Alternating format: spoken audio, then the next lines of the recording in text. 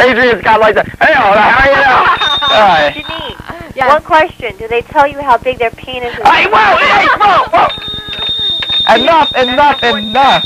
They don't have any. Ask any. them, have they ever been tested for uh, hernias or testicle cancer? No, I don't want to go with deal these for you. people. They're horrible. This is called losing control of one show.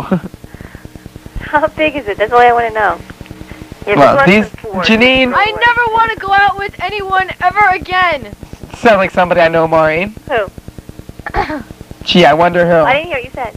I never want to go out with anyone again. I never want to be touched ever By these men? by anyone. Sounds like a bunch of. Oh! Whoa, whoa, whoa, whoa, no! No! Whoa! No! No! No! No! I What happened? haven't- Welcome back to the What Viper happened to your Show. penis, Oh, Bob? whoa, watch the language, Maureen. No, I edit that out. Ed. Ed, you got the real slice ready? Hold on, Maureen. I'm going to the next show. Whoa, whoa. Oh my god! Oh my Hold god! on. Oh, I got the headphones, please. Whew.